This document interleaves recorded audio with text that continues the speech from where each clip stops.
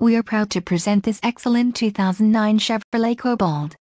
This Cobalt has a four-cylinder engine and an automatic transmission.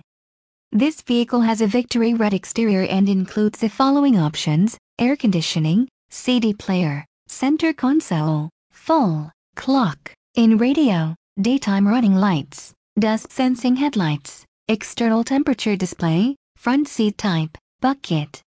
Contact our internet sales staff today to schedule an appointment.